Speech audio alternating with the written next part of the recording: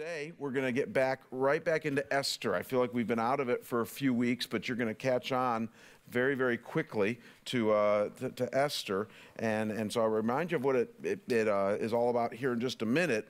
But, it, you know, from a very, very, very bird's eye view of, say, maybe 40,000 feet, uh, you know, Esther would be described as, a, as, a, as an action movie and a, a drama story all at the same time. I, I, mean, it's just, you, you, read it, and it's like watching Law and Order or going to maybe see the, the film version of Les Miserables or, you know, some exciting show that's also thick with a tremendous amount of drama. And, and, and if you can latch on to that at all, that's the story of Esther. And, uh, and, and, and though there are many parts of Esther that I love, I mean, it's, it's a pretty long book, over 10 chapters, well, just about 10 chapters. The two chapters that we're on right now, chapters five and six, that we're going to today, I, I think comprise uh, the, the heart of what Esther is all about, kind of the, the, the, pinnacle of the story. It doesn't mean that everything from this point will be downhill, but it does mean that, that this week and next week, because this will be a two parter, are, are pretty incredible stuff. So let me remind you of where we are in the story, because some of you might be joining us uh, afresh here today at Marketplace Bible Study. So let me just give a quick three minute recap of where we are in the story of Esther, and then we're going to dive right in to uh, our point today. Now, Esther takes place, it was written by about 500 BC uh, in Israel, and Israel as a nation has been completely overrun by foreign nations, and the lion's share of the people of Israel have been deported to a territory uh, north and it would be east of the Holy Land, and it's an area by the name of Persia. And, and, and the king of this vast empire, Persia, is a guy by the name of, uh, what's his name? Ahasuerus. Uh, and, and, and, and Ahasuerus would be a megalomaniac that would make maybe somebody like Attila the Hun look like Mr. Rogers. So, so that would be Ahasuerus. Some of your translations might call him Xerxes, but we're going to call him Ahasuerus. It's, it's just a difference between translations. And early in the story, um, Ahasuerus gets mad at his wife Vashti, and he divorces her, and he bans her from his presence, and he marries the most unsuspecting person in the whole story, Esther, which is who the book's named after. And Esther is a beautiful, humble Jewish gal. And you might remember that Esther also, let me just go whip through all these things here. That's right. Uh, Esther also has a, a cousin, a younger cousin, uh, or no, Esther is the younger cousin of a Jewish exile by the name of Mordecai, the only father figure Esther has really had, who checks on her just about every day at the city gate to make sure that she is doing okay now as the new queen of all of Persia, married to this Castro like leader. And one day, Mordecai, in a bold move, refuses to bow and worship to the uh, king's second in command, a guy by the name of Haman. And again, you know, it's, it's, Persian culture back then. In that culture, if you didn't bow down to royalty, which Haman would have been, even though he was in the military, um, it's considered, you know, a capital offense. And Haman gets all mad. And instead of just taking out his anger on Mordecai, he decides to take his anger out on all the Jews, which has been something that's gone down through history, and he decides that a few months from that time, he would exterminate all the Jews from Persia. Now, now here's what you know that's like, we estimate probably over a million Jews at that time. So, so this would be a Holocaust on par with what happened in the 20th century. Maybe not as many people, but certainly as atrocious. And so, obviously, uh, Mordecai and Esther and all the Jews in Persia are, are distraught over all of this. And, and so, Mordecai obviously urges Esther to go in and talk to her husband, the king, and basically say to the king, Stop this. Just, don't let Haman do this. You're the leader of this whole nation, and, and you can stop this. Uh, the only problem is, is that Haman's plan has already been ratified by the king's own signature. And, and, and, so to get an audience with the king back in Persian culture back then could literally cost Esther her life. And, and, and, again, it was a different culture than ours, but, but basically the rule was back then is that if anybody approached the king to ask a favor, and that meant anybody, uh, whether you were the wife of the king or not, if anybody approached the king uh, in his official court to ask a favor or something of him, and you were not summoned, then death would be the result. You just couldn't approach somebody as high as the king. The only way that death would not result is if the king decided to forgive you. And back in that culture, it was done by extending the golden scepter. You're going to want to hang on to that. Extending the golden scepter. If the king extended the golden scepter to you, then it would be a sign that you would not be ki killed for coming into the king's court uninvited. And, and, so that's really an important aspect of this story, as we're going to see as we go along. And, so this is where we are at Esther as we enter into chapters 5 and 6. Esther is about ready to move ahead with her plan to save the Jews by asking her megalomaniac husband, uh, Ahasuerus, if he will intervene, but she knows that by so doing, it could cost her her life. And you can read about it earlier, but that's what chapter 4 is all about. So uh, let me show you some interesting thing about as Esther's plan unfolds here that I think have everything to do with yours and my life today. So, so first, let's look at what we might call the setup to Esther's plan. The setup. Look at verses uh, 1 through 3 of Esther chapter 5. And I'm going to read it for you. It says, Now it came about on the third day that Esther put on her royal robes and stood in the inner court of the king's palace in front of the king's rooms. And the king was sitting on his royal throne in the throne room opposite the entrance to the palace. And it happened that when ki the king saw Esther, the queen, standing in the court, she obtained favor in his sight and here's the key thing, men. And the king extended to Esther the golden scepter, which was in his hand. So Esther came near and touched the top of the scepter. The king said to her, What is troubling you, Queen Esther? And what is your request? Even to half of the kingdom, it will be given to you. So, this is really good news if you were tracking with me earlier on, on the plot line in the book of Esther. And if you were Esther, if you had just gotten past the major hurdle of getting an audience with the king, that of approaching him without getting killed, and the king is so happy with you, because you got to remember, this guy gets very unhappy very quickly. Not just because he's a man, but because he's an angry man. And, so he divorced his wife just because she didn't please him at a party, his previous wife. So, so this is a really, really. Uh, uh, twitchy guy.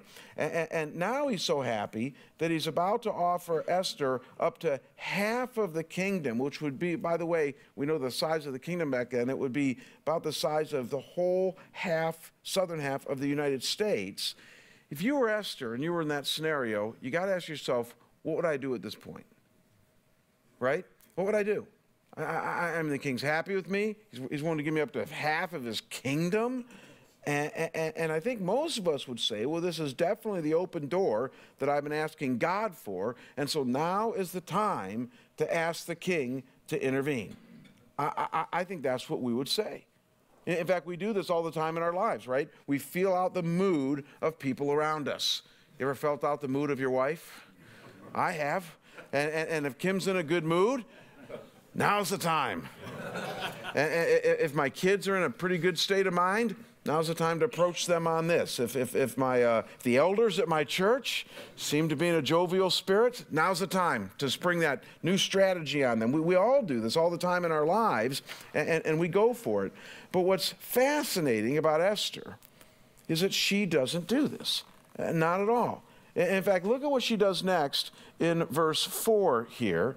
And uh, look at chapter 5, um, yeah, verse 4 of chapter 5. It says, And Esther said, If it pleases the king, may the king and Haman come this day to the banquet that I have prepared for him. Now, man, that's really interesting. What does Esther do at this point? She's been accepted into the royal throne room. She can spring a request on him. He's happy. He extended the golden scepter, and she invites them to dinner the king and Haman. no mention of a request, no dropping the bomb, no capitalizing on Ahasuerus' good mood and desire to give her, by the way, half of Texas, New Mexico, Louisiana, Oklahoma, Arizona, Florida, and California, which is basically what he offered her, she invites him and Haman to dinner. I, I call this aspect of Esther's plan, phase one, the banquet or the immediate banquet. And you and I might be thinking, okay, kind of strange, but let's read what happens next. So let's look at verses 5 through 6 here. It says, Then the king said, Bring Haman quickly, that we may do as Esther desires. So the king and Haman came to the banquet which Esther had prepared. And as they drank their wine at the banquet, the king said to Esther, What is your petition? Isn't that interesting? That's on his mind. For it shall be granted to you. And what is your request? Even to half of the kingdom. He says it again, it'll be done. And so again, we're tracking with this drama. We go, okay, now, Esther, now is the time to go for the jugular. Now is the time to ask the king. He's primed, he's ready. I mean, when are men most amenable to doing what women want? When they've eaten. So he's just eaten and, and he's filled with a little bit of wine. He's in a good mood. He's still mentioning the southern half of the kingdom. And, and so I'm just telling you, you guys got to enter into the story here. Most of us, would be dropping the bomb about now. I mean, we, again, we've had lots of experience with this. I mean, we know how to, how to work with other people, don't we? I mean, most of you guys are business guys or in some educational sector or something like that. You've read Zig Ziglar books. You've gone to Tony Robbins seminars. You've, you, you've done the Dale Carnegie stuff. The only problem is, is that Esther hasn't read of any Zig Ziglar's books, and she hasn't gone to any seminars. And, and, so she's not going to do this next. In fact, look at what she does next. Look at verses 7 through 8. It says So Esther answered and said, My petition and my request is this if I have found favor in the sight of the king, and if it pleases the king to grant my petition and do what I request, may the king and Haman come to the banquet which I have prepared for them, and tomorrow I will do as the king says. And so she eventually, or essentially, invites them to another dinner tomorrow with more food, more wine, another night for Ahasuerus to sleep on it and to think, what is my wife up to? So I call this phase two, the banquet again, or the banquet tomorrow. And it is worth noting here that only after the setup, only after banquet number one, into banquet number two, that Esther tells the king in Haman's presence about the plan to exterminate all the Jews and pleads for him to intervene. So it says in chapter 6, verse 14, we'll skip ahead just for a second right now. It says that while they were still talking with him, the king's eunuchs arrived and hastily brought Haman to the banquet which Esther had prepared. And it is here that we're going to kind of parse out more next week that Esther then reveals all that is happening and asks her husband, the king, to intervene and to set justice in the course there of injustice. Now, man, before we get to that next week, I want to spend the rest of our time this morning, now that you get chapter 5 and into chapter 6, um, wrestling with something that theologians, I kid you not, have been wrestling with for 2,500 years with the book of Esther. And, uh, and, and, and the question is why did Esther develop and execute what I would call this staggered, stalling, and downright maze like plan for Ahasuerus to see the folly of killing all the Jews? That, that's what we need to wrestle with. Why did she go to all of this trouble to communicate her wishes, especially when from the very get go, from the very, very first meeting with the king, things seem to be absolutely fine. You need to know, expert Bible commentators have wrestled with this literally for thousands of years now. I mean, every one of them who's ever written on Esther has wrestled with this issue before us here today. Uh, so let me share with you some of their suggestions. Some have said, well, maybe it was due to fear that Esther was just afraid, she was timid, she was young, and so she took baby steps to execute her plan. And though we might admit that Esther had some fear, the problem with this solution is that there's no indication in the text here that fear was driving her. I mean, usually in the Bible, when fear is going to play into the situation, the author will tell you. So, for instance, when Peter was afraid of the winds and the waves in the Gospels, what does it say? He was afraid. It, doesn't make us assume that. If the author wants us to know that this is what's in play, it usually tells us. There's nothing here mentioned about that. So others have surmised that maybe uh, Esther was using some simple form of psychological manipulation, you know, kind of like a delay tactic to get Ahasuerus filled with some wine and give him a couple of good meals and wet his whistle with curiosity, you know, sort of stringing him along psychologically that would get him even more softer to Esther's eventual request.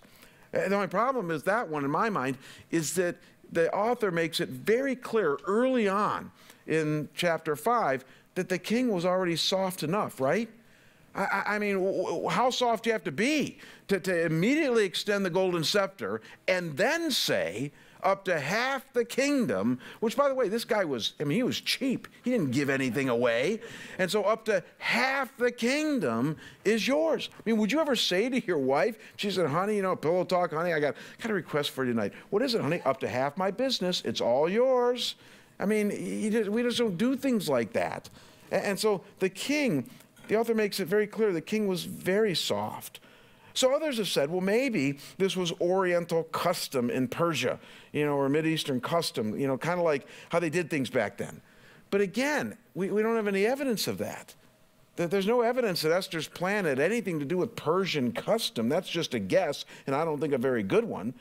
So, so a fourth suggestion that some have said, and this one, again, this is where our culture, this actually occurred about the 19th, 20th century with some of the more liberal scholars. They said, well, maybe the author just included all these details, a, redactor just included all these details later to, to sort of spice up the story and make it better. That really it happened much more simply than the story we have before us, but somebody came along and they call it author inclusion or authorial inclusion and they just added it. But again, this is the Bible. We, we, we have great evidence, and this is for another talk, but we have great evidence that the Bible you and I have today was the Bible that was originally written, and we have no evidence that it was messed with. So that, that doesn't even hold any water.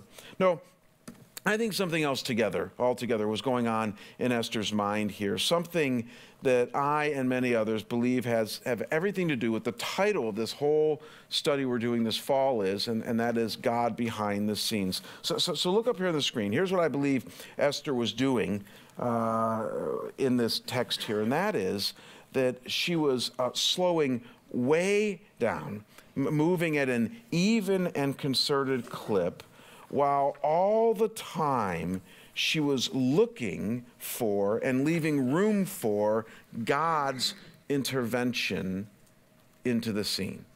I, am going to convince you here today, if you're at all doubting this, that this is what's happening in this story.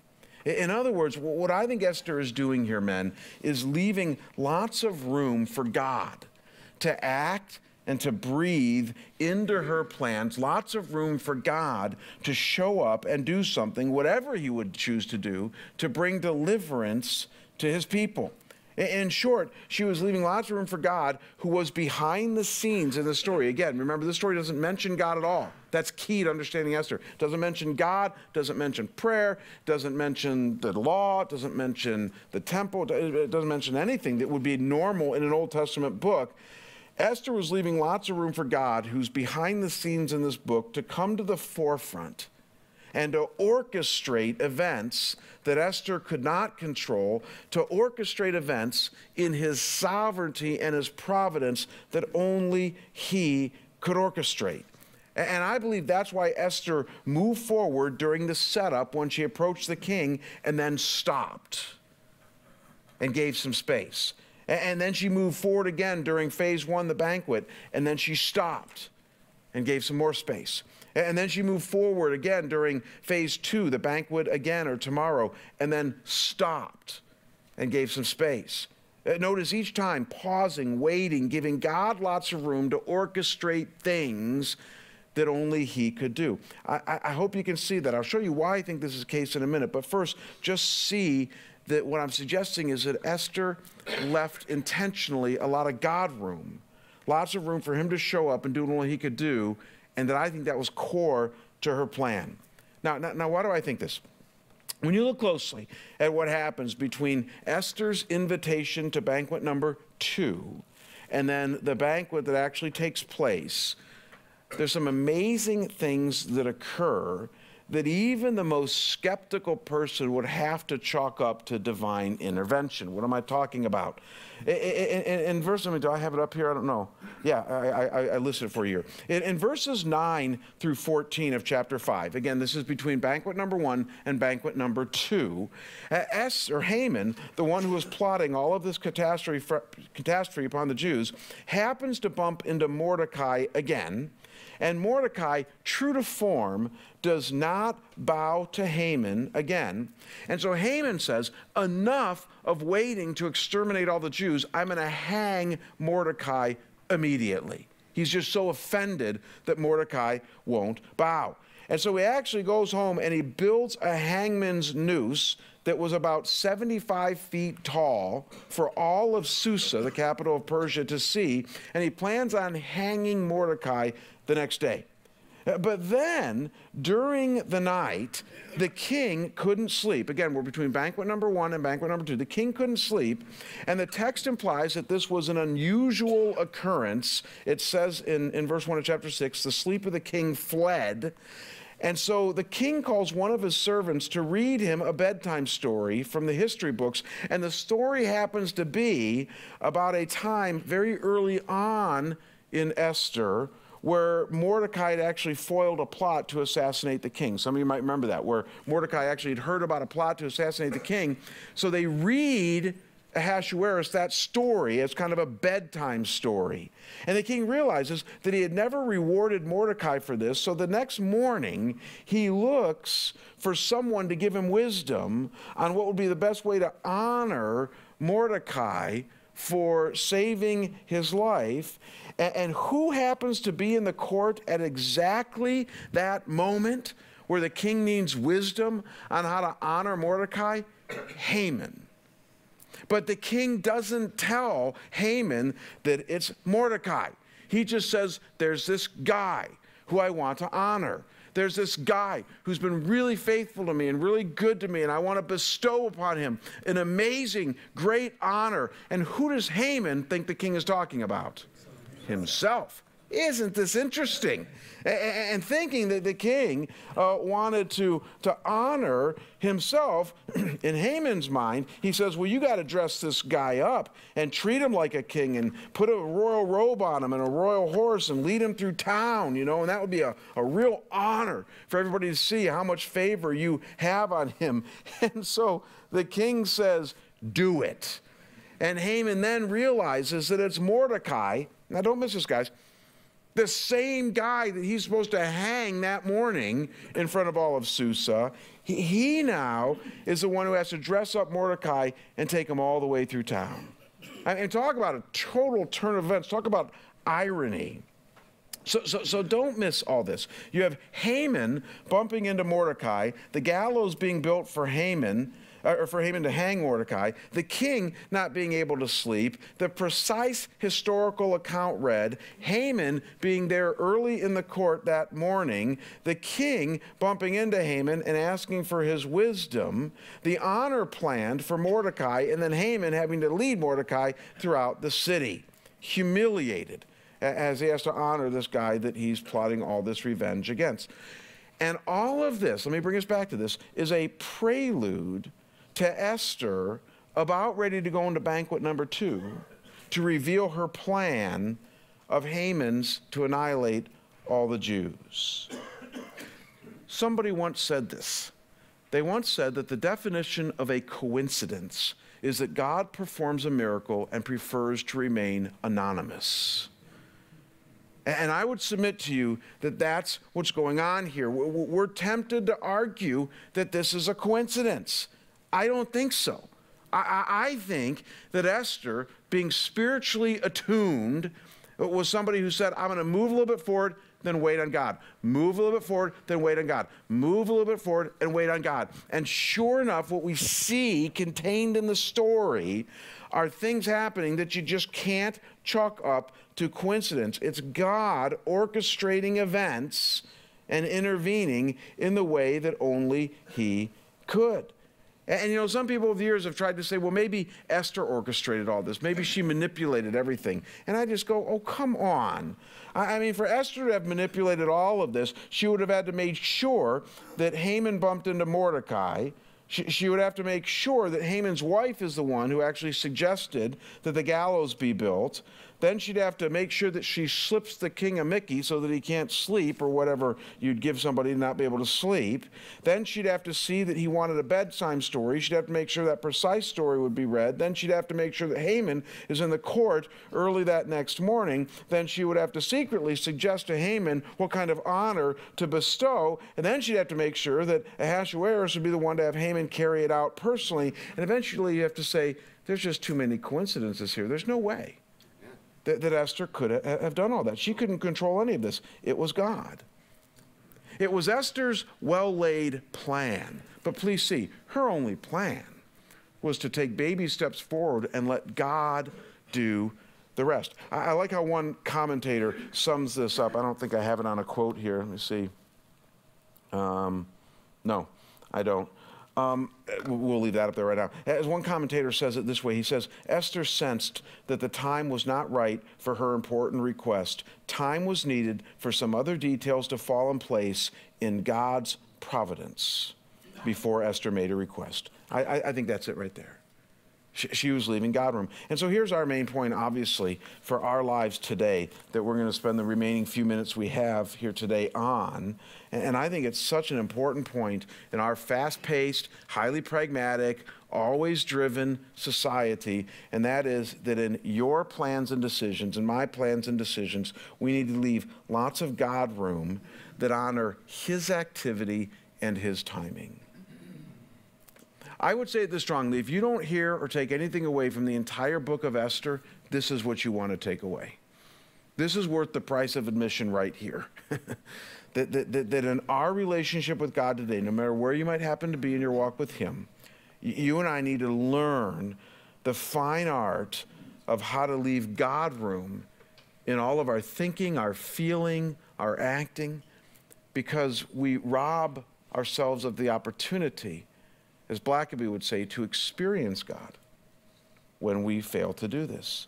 Because you see, God room slows down enough and leaves enough gap in our lives for His movement and His timing. Uh, Franklin Graham, uh, some of you might know that name. Franklin Graham is the son of the famous evangelist Billy Graham. And Franklin Graham wrote a book a few years back, probably over a decade ago now, that I read called Rebel with a Cause. And, and, it was a great title. The title alone made me want to buy the book. And it's basically his autobiography of how, as a young guy, Franklin Graham rebelled against the Graham, fa- Graham family in a fairly significant way and, and, went off to do his own thing. And it's a story, kind of like a prodigal son, of, of coming back to, uh, to God and back to his family. And the subtitle of the book, by the way, is called Rebel with a Cause Finally Comfortable Being a Graham. And, and, and, so, can you imagine being Billy Graham's son? And it's actually a fascinating read with a lot of funny stories about growing up in North Carolina and traveling the world as, as, as Billy Graham's son.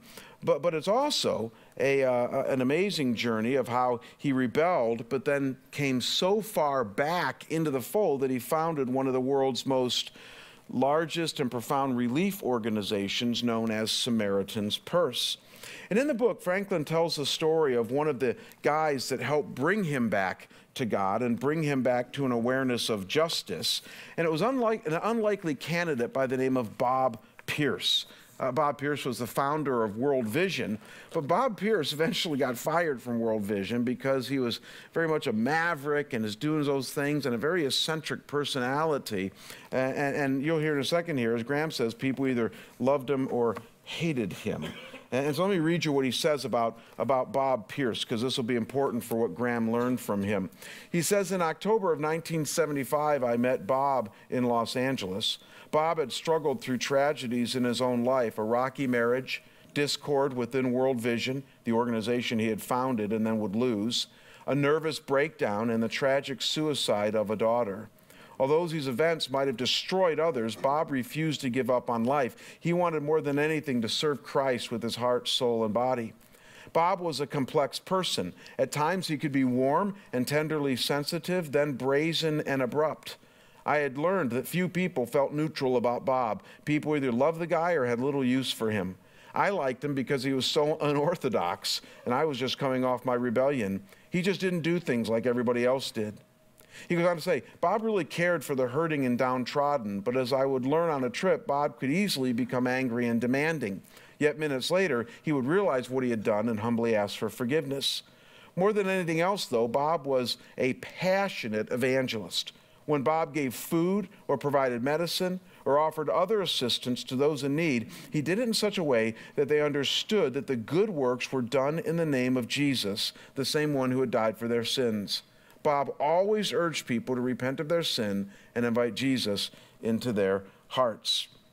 And So this is 1975 when Franklin is traveling uh, throughout Korea and Hong Kong and China and India and Iran and even to the remote jungles of Thailand with Bob. And Bob simply trying to get him to see the need for physical relief and the gospel to be brought together. And, and at one key point in this trip, while buried deep within the jungle, Bob revealed to Franklin uh, a most central part of his walk with God. So, so dial into this, men. This is your mentor. This is guy bringing you back to the Lord. This guy's teaching you how to walk with him. Not, not, not through just how to have a quiet time, because Graham knew how to do that, but more how to relate to God. And, and listen how Graham describes it. He says, The lesson Bob taught me. Let me see. Uh, where do I have it here? Let me see. I got that. Nope. We're going to get that second. He says, The lesson that Bob taught me that stands out above all else is what Bob called God room. As Bob puts it, God room is when you see a need and it's bigger than your human abilities to meet it, but you accept the challenge, you trust God to bring in the resources to meet the need. That's God room.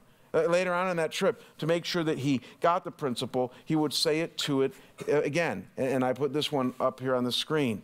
He says, God room is when you have seen a need you believe God wants you to meet, and you try, but you can't. And after you've exhausted all of your human effort, there's still a gap. No matter what you do, you just can't humanly bring it about. That's when you pray and leave room for God to work and you watch God close the gap. I, I got to tell you, when I, when I read this biography over 10 years ago, I, have never forgotten that room or that word, God room, that, that, that phrase, God room where you leave room and space in your life for God to do what he wants to do. And I, got to tell you, man, this is eminently biblical. The Bible says this. The Bible says that faith, in Hebrews chapter 11, verse 1, is the substance of things hoped for and the assurance of things not seen. And, so, God room is all about trusting God in the times when He is most unseen, right? God room is all about leaving room for God in the times where we realize that if He doesn't show up, something's not going to happen. And the simple logic is when our lives are so humanly limited and safely controlled, which most Christians live today, when we can accomplish everything that we set out to do on our own, then neither faith nor God room is needed, right? I, mean, think about it. But we, we all say we might need faith, but we really don't. We're in control of everything, and everything seems to be going just fine. And so faith only becomes faith, God only becomes real when we leave room in our lives for Him to show up and do what only He can do. And you have to have God room to do this. And so, really, I really want you guys to apply this to, your own life here today. that, in all of your plans and dreams right now, and, all that you're doing in your life right now, whether it be on your job or in your marriage or, with your children or, with your retirement or with your church or, even in your own emotions, you, got to ask yourself here today this is the key question. I think it's the whole question in the book of Esther. How much God room is there? In other words, dare to ask yourself these questions uh, How much of my life is accomplished by my own effort? And wouldn't that be a good question to ask? I mean, I'm going to go into my day today as a pastor and I have Marketplace Bible Study. I got a meeting with Al, which I got some decisions to make between 9 and 10. I'm going to work out with Lance a little bit later. I meet with my whole staff at noon, and then I have to get going on my sermon for this Sunday, this afternoon. So I got a bunch of activities here today. If I get to the end of the day and do an audit of my life, wouldn't it be a powerful thing to ask how much of this did I do today based on just my own human strength? I, I mean, I'm pretty gifted. I got a pretty good IQ. I've got a master's degree in theology. I've been going at this now for 25 years. In fact, I was telling Corey the other day that, you know, Malcolm Gladwell, I think it's in that book of his where he says uh, that, you know, if you commit 10,000 hours to your craft, you've perfected it. I, I realized the other day that I've actually spent 15,000 hours over the last two decades in sermon preparation and sermon delivery. So one could argue I've, I've honed that craft very well. So I could easily go through this day. Now, don't miss this, men and leave very little God room in my life. Amen. As a pastor, as a follower of Jesus, as somebody that people look up to and want to emulate, and to use the wording of the book of Galatians, I could live in the flesh all day today and not really live at all in the spirit. really, this is what one author calls the difference between naturally accessible reality and supernaturally accessible reality. What reality are you accessing? Because, see, I think most Christians just live a baptized form of the natural life every day. The only reason I say baptized is because we talk a good game. We read the daily bread, we read the Jesus calling, we said a few prayers. We're going to be as moral as we can. And through going through a day like that, we think that we're doing pretty good, what Crabb calls good enough Christianity. And I think Esther comes along and says, look at her life because she left a lot of room for God. Look at Franklin Graham's life. He leaves a lot of room for God. And, and so I guess the, the question I would ask is how much God room is there in your life? And, and are you following the God room rules? You're saying, what are those rules? Just look at Esther. You, you need to slow down in your plans, you need to stagger them a little bit, you need to stop at key points in your life and say, you know what, Lord, I have no sane reason for doing this, but I'm going to stop and pause for a couple days before I make this decision. I'm going to stop and pause a couple of days before I make any more action on this big move in my life, if for no other reason than to give you room to step in and do what you want. Guys, I pray this all the time. Yeah, Corey's probably heard that. When I pray, I pray to, that, that, Lord, if the road I'm going around right now is the wrong road, intervene run interference, do something, knock me down, do something to prevent me from doing this. But you see, here's the problem. If I pray that and then I keep going, God might tackle me. He loves me that much. But it's a lot easier for him to get my attention if I'm still and he says, okay, thanks for staying there. I'm about ready to do something. See, it's just that we as Christians don't leave a lot of room for God to do that. And, so this is the message, I think, a huge message of Esther here today. Now, next week we're going to talk a little bit more about how we can build more God room into our life. This is a two-parter, this, this well-laid plan thing. But, but more today, I want to just get you into the realm of God room and what, what it is and what it means and, and to get you thinking about it.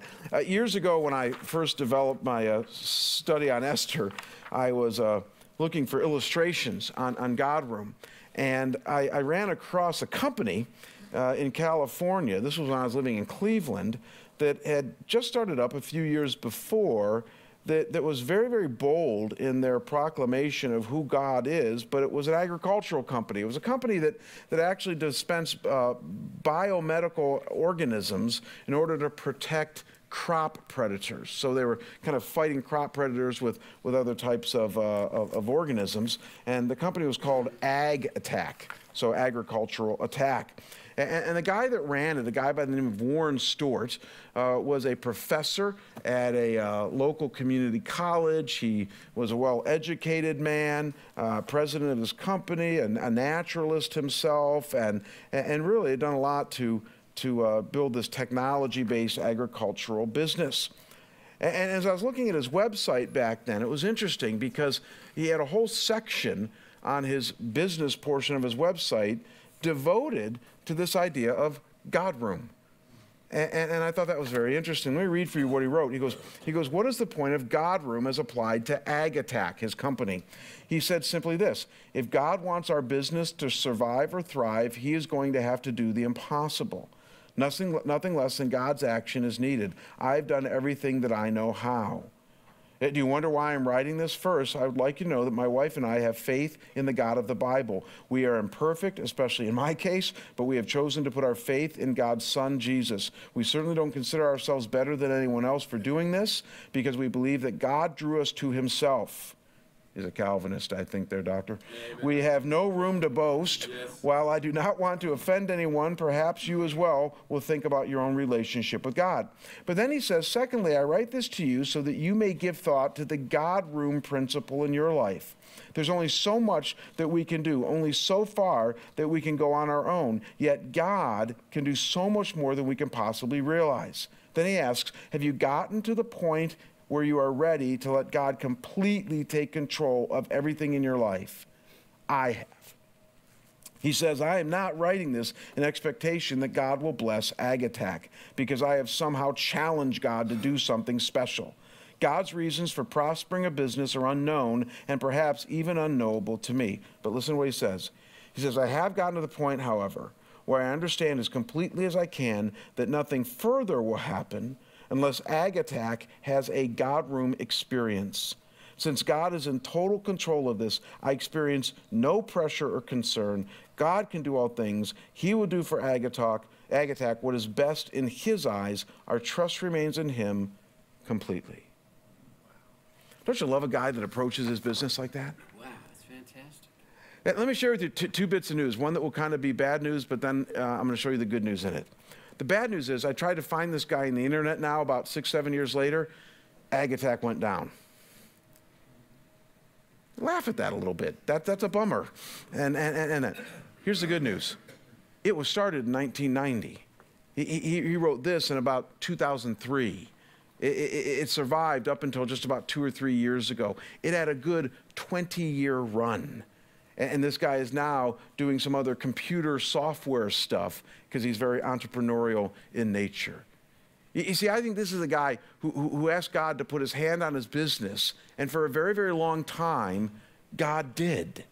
Uh, because he gave God lots of room in his life. And God is in the business for those who trust him and for those who are following him to entering into their circumstances and doing whatever he wants to do. And I don't know if you guys caught it, but I loved when he said, I'm not writing this, I'm not expecting that God will bless Ag because I have somehow challenged him to do something special. He wasn't asking that, he was trusting God to do whatever he wanted to do as he gave God room in his life. And, so next week we're going to talk about how. Next week we're going to talk about how we can be in that place, that no man's land between banquet number one and banquet number two, where we leave room for God to do what he wants to do. And it'll be a very practical message. But for this week, I simply guys want you guys to start chewing uh, on this idea of God room for your life. Because I got to tell you, it, it has been a great friend to me over the years, just this principle. Uh, there have been so many times where I'm moving ahead, and just for no sane reason at all, I'll stop. And I'll say, let's wait on God. I, I did this with my board just a little while back, where we were moving ahead with some decisions, and it was about two years ago, and we are getting ready for a capital campaign. I just, I just think we, think we need to slow down, and let's just think about this. Let's pray about this. Let's, let's leave room for God to do or say what he wants to do or say. And, and it always has served me well. Always.